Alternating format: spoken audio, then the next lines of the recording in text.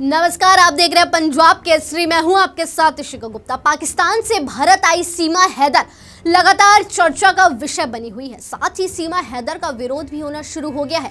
अब पाकिस्तान महिला को लेकर गौरक्षास हिंदू दल ने सरकार को कुछ घंटों का समय दिया है कि वो सीमा हैदर को देश से बाहर करे, वरना बड़ा आंदोलन किया जाएगा।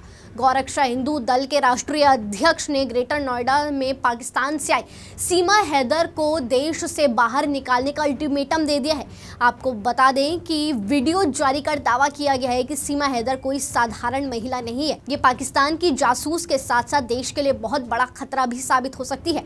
उन्होंने आगे कहा कि खुद को पांचवी फेल बताने वाली महिला अलग अलग भाषाओं के साथ साथ अंग्रेज़ी में बात कर रही है। मतलब ये कोई साधारण महिला नहीं है।